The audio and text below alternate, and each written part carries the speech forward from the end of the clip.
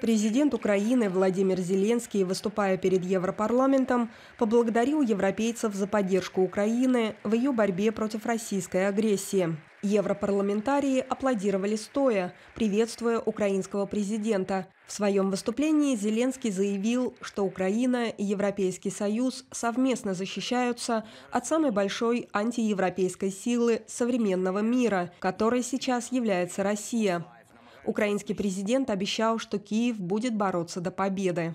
Ця тотальна війна зараз, яка була розв'язана Росією. Эта тотальная война, которую сейчас развязала Россия, идет не только за территорию в той или иной части Европы.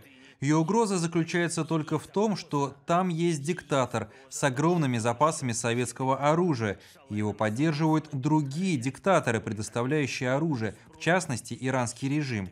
Чтобы иметь возможность вести эту войну, Кремль абсолютно цинично, последовательно, шаг за шагом, год за годом разрушал то, что мы считаем основой нашей с вами Европы. Знищував, знищував те, що ми бачимо в основі нашої з вами Європи.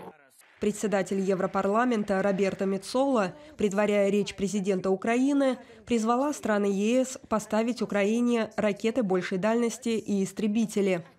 Государства должны быстро рассмотреть в качестве следующего шага предоставление дальнобойных систем и самолетов, необходимых для защиты свободы, которую слишком многие принимали как должное.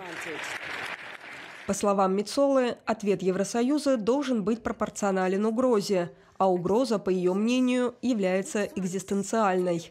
Она подчеркнула, что Украина борется за европейские ценности – будущее вашей нации в Европейском Союзе, заявила она, обращаясь к Зеленскому. В свою очередь, украинский президент выразил уверенность в том, что его страна после того, как победит в войне с Россией, сможет присоединиться к Евросоюзу. В этот же день украинский президент принял участие в экстренном саммите глав государств и правительств стран Евросоюза – Обращаясь к лидерам стран ЕС, он заявил, что Украина нуждается в боеприпасах, современных танках, ракетах большей дальности и боевых самолетах.